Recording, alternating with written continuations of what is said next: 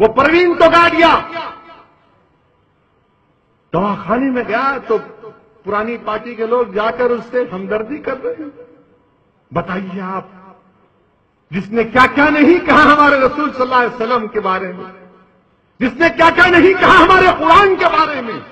جس نے کیا کیا نہیں کہا ہمارے دین کے بارے میں؟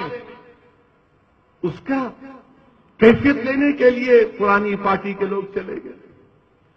اور وہ بھی بڑا بیچارہ خالی پولیس آئی تو رونا شروع کر دیے، ڈاکٹر صاحب۔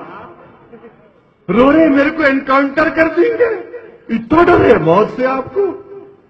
ہمارے کو مارنے کو آئے تو ہم بولتے، آؤ تیرے حکم سے نہیں، اللہ کے حکم سے جان جانے والی۔ یہ ان میں اور ہم میں فرق ہے۔ پولیس آئی تو بےچارے دواخانے میں شریف ہوئی آپ حیرت کی بات دیکھو، پروین تو گاڑیا کی۔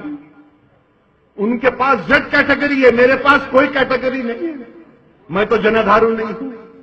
ہمارے دلت بھائی نے آ کر شال پنایا میں بھی انہوں بھی۔ ہم لوگ ورنہ سسٹم میں نہیں آتے۔ ان کی زیڈ کیٹیگری ہے۔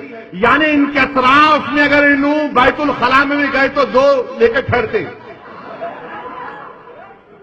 کون سی آواز پہ کیا کرنا ہے؟ اب وہ کیا آواز ہے اس پہ نہیں جاتا۔ میں نے دو لے کے کھڑے رہتے وہ آدمی بول رہا کہ میرے کو پکڑنے آئے، میں پارک میں بے ہوش ہو گیا۔ آئے ہائے۔ کیا سٹوری ہے بھائی تمہاری؟ اب پکچر بناؤ گولڈن جملی ہو جائیں گی اس کی۔